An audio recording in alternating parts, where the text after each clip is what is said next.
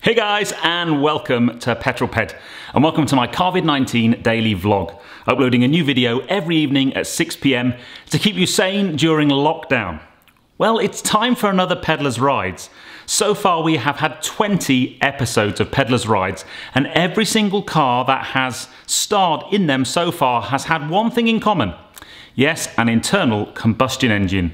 But not this evening, oh no. I think we should call this one Sparky Saturday.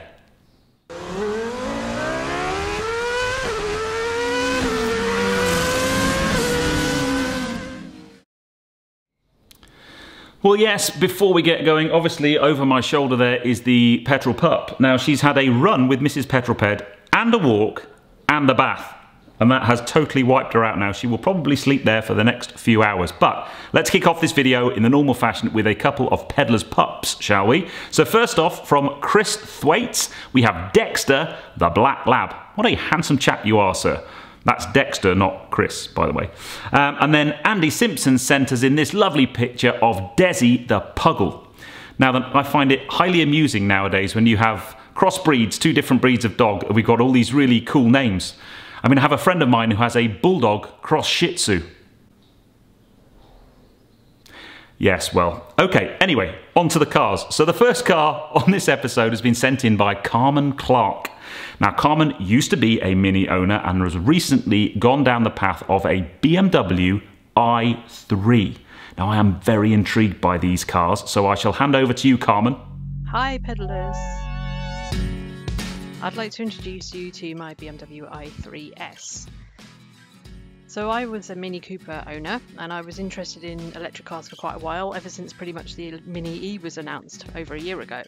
And I've done a lot of research into them, I'm quite a techie geek and I really like the idea of them. The simplicity of the motor, there's not so many moving parts, there's not so much uh, maintenance on them, the instant power and the instant torque that you get from them, it was all very interesting. Unfortunately for me, the Mini just didn't quite have the range I wanted. I wanted to be able to get to my parents without having to stop, and the Mini wouldn't do that. But the BMW i3, the newer versions have a larger battery. This isn't a newer version, this is an older version, but this has the same size battery as um, the Mini, but it has a range extender on it. And the range extender is a little petrol scooter motor that's located under the boot floor, underneath um, there, with the along with the electric motor. And this gives you extra battery power should you need it. It doesn't drive the, the wheels at all. Coming from the Mini, it's a very different experience to drive. It's uh, fast off the mark, very, very, very fast off the mark, especially in sport mode. You feel that thrust into the back straight away. I liken it to driving a silent jet engine. It's like taking off in a jumbo. So, one of the things about the BMW i3 was that it was designed from the ground up to be a city car. And one of those things is that it has a very tight turning circle, partly because the wheels aren't constricted by having an engine under the bonnet.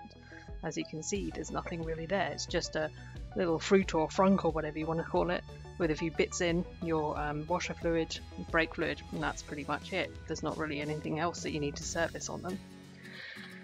So the position of driving you're very much higher up than in a Mini, obviously. The Mini's quite low anyway. Um, it's great for visibility. Those weird looking dropped back windows actually help a lot on the visibility. You can see what's down beside you very easily looking through those side windows and it's excellent in the city because of that turning circle, etc. So one of the other things about the i3 which was specifically designed was that the car needed to be lightweight to counteract the extra weight of the batteries. A lot of electric cars are very heavy, but the i3 is extremely lightweight, and this is because of the carbon fibre chassis.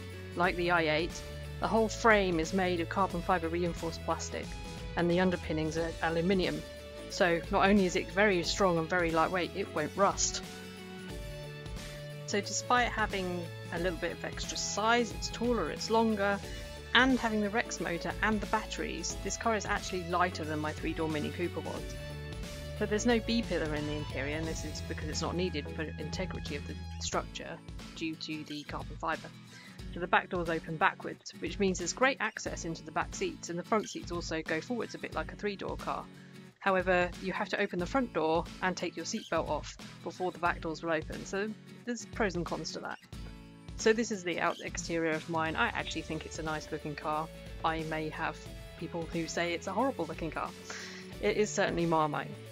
As an i3S, mine has the extra wheel arch fenders because it has a wider track. It also has bigger wheels.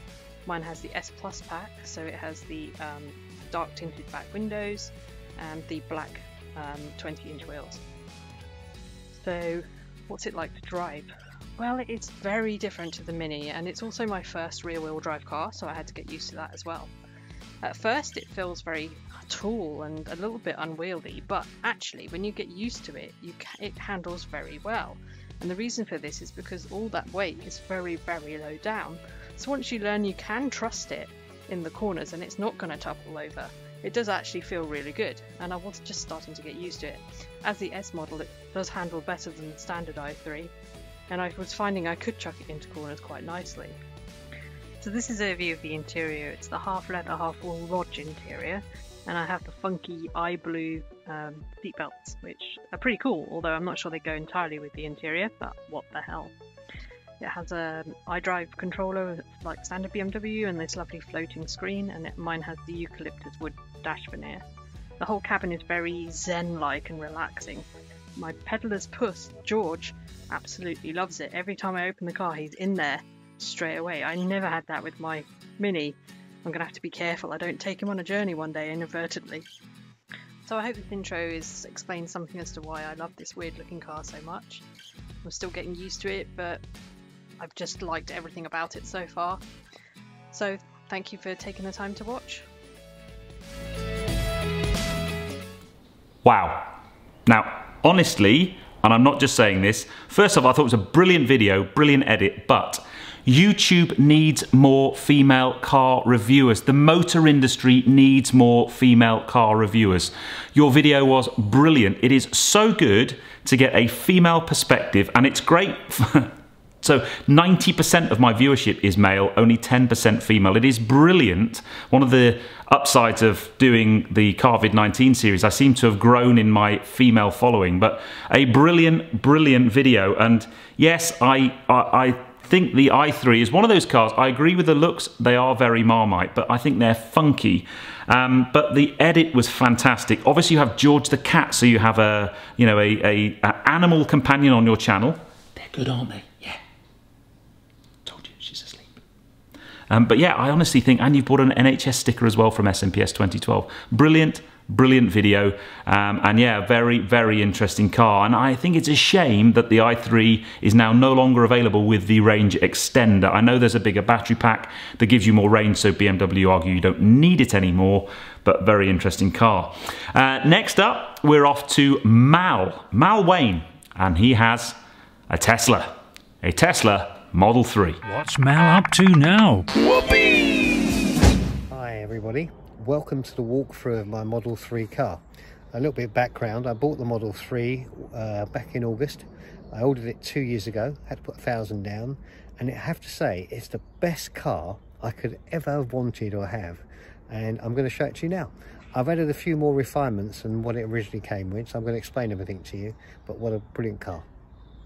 So this is the all-range, long-range Model 3. Um, I get about 300 miles out of it um, and it cost me probably about £8 to charge it a week. My van was costing me £70 for the same amount of miles. Um, so I've added this onto it. I've tinted the windows and I've um, added the roof bars, the Tesla roof bars. I've added a little you know, mirror there. Um, very excited because yesterday we got a, an update on the car and the car keeps giving updates and it was so good that now you can have Sentry mode which is all these cameras which is a camera here a camera here um, camera at the back and also camera here and a camera here. And what they do is if someone came around the car it would give you a, a problem um, you'd actually see it on your car but then you'd have to take the memory stick out and take it in but yesterday now you can have the memory stick in the car and you can see everything from the screen which I'll give you a little demonstration soon so on the front of the car I've motorized it Um, originally, you used to have to press the button down when you closed it. Um, so let's see if I can show this for you. Okay, so this is the front, and as you see, it's quite quite good. Um, it's quite distance. He's got a couple of um, little holders for uh, shopping, and also on the boot, I did exactly the same thing. Um, using the Tesla's button, I powered it. So that powers it. The boot's quite quite a big boot. Um, 15 cubics. I've chucked a load of stuff in at the moment. Um, but no problem. I put a little button here.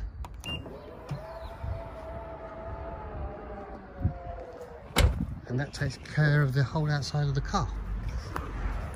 Now to get in the car, you can either with the phone, it'll open by itself like that, and the the mirrors will actually undo, and Tesla give you a key card.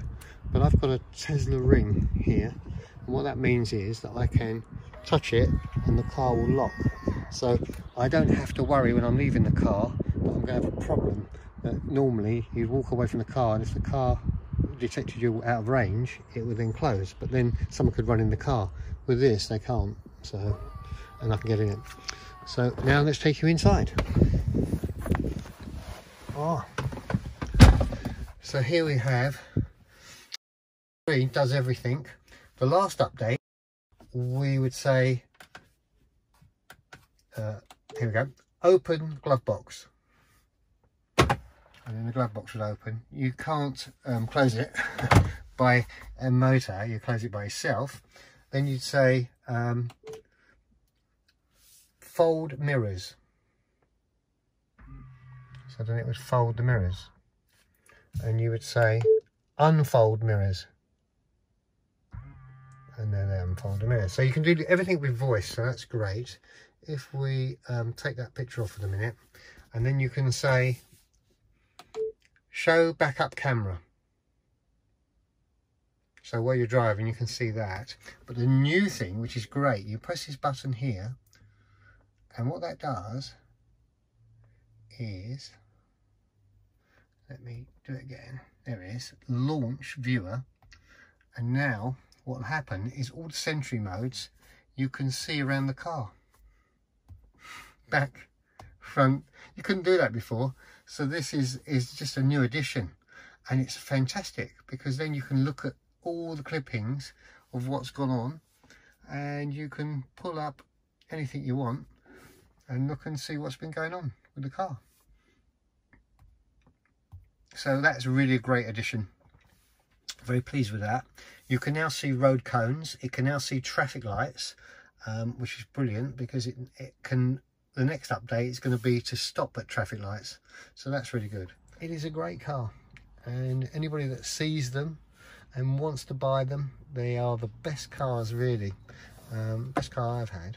And then if we look into the charge um, here it gives you the charge. So I've got 260 miles at the moment um, which is about 90% uh, charge so if I took up to 100, it will give me 300 and something, but I, I don't never normally keep it up to that. It's best on Tesla. Suggested that. So everything. It has Netflix on here built in. That was another update. You get all the movies. Sound system. You got all of my music I can have in there. I think I've got about 300,000 tracks of music of my own personal collection I've had over the many years. So that's all inside and you can control that by voice and absolutely the best car ever. I hope you enjoyed this little walkthrough of my car. One thing I didn't tell you, and I'm really proud of, is I didn't like, the one thing I hated, it had a wood dash here. And I absolutely hated it. Ever since I got it, I was like, oh, if anybody asked me what the one thing I hated, it was that. And I got this from EVANNEX in the States, and it's a carbon fibre um, cover that is stuck on with 3M tape. It's very strong, you can't pull it off. But if you wanted to pull it off, you could and you'd be back to it. But I think it looks beautiful now. It's made a big difference. Why on earth they didn't use it in the first place? It was the only bit that had a wood dash on this bit and it just looked awful. And I was glad to get rid of it, I have to say. but now it's, as you see, beautiful as far as I see it. Thanks.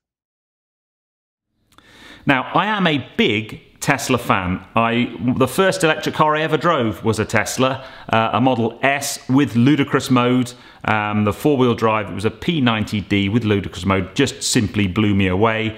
I then drove a P100D Model X amazing car. And I was actually due to have a Model 3 press car from Tesla the week lockdown started, and unfortunately it had to be pushed back because I'm very interested in the Model Y. Now, the Model Y will share much of what the Model 3 has, but it's a hatchback, which is great if you've got one of those. But a brilliant video, Mal. Thank you for showing us everything. Now, I must say, um, that there are so many things you could talk about Tesla that I think are really interesting. The fact that the car is connected and does over the air updates, and if you talk to any Tesla owner, the thing they love is they'll wake up one morning, go down to the car, and it will have a function on it that wasn't there the day before because it's been upgraded over the air. Um, and I could, I reckon, you could play inside a Tesla with all the gimmicks on that. Um, uh, touchscreen, you could be in there for hours and hours. so yeah, I thought it was a brilliant video and a very, very interesting car. And hopefully there will be a Model 3 coming to the channel very, very soon. Um, and obviously I'm a big electric fan because my TV show that airs on the 24th of June is called Vintage Voltage, where we basically take classic cars and convert them to electric power. So um, I, even though my channel is called Petrol Ped, I am a big fan of EVs. Um, and if you haven't done so already, make sure you tune into the Love Cars video I did with Tiff Needell and Paul from Love Cars. Again, uh, earlier on in this year, it was only a couple of weeks before lockdown actually, um, based around second-hand uh, electric vehicles and buying them. And an, an, i3 was one of the cars we actually had in that film. But anyway, guys, I, I hope you enjoyed that, mixing it up a little bit. I know when you do EV films, uh, they either go down really, really well or not. Um, luckily, we didn't broach the subject of charging too much, which is normally where people give me grief, but I hope you enjoyed that one. If you have done so, please give me a thumbs up. Comments below are always welcome, and if you haven't done so already, please subscribe to Petrol Ped for plenty more content to come. And I'll see you on the next film, guys, but you take care. Stay safe.